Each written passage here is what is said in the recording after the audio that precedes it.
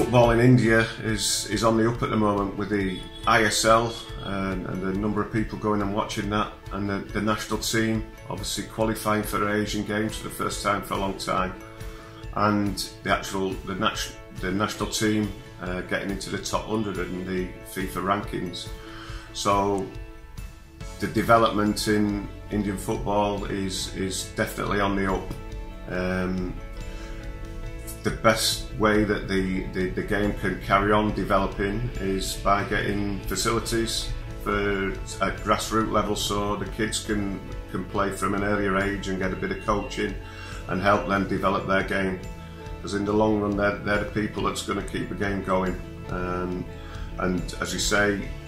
Indian football's on the up and uh, I think everybody's got a ride on the back of that wave now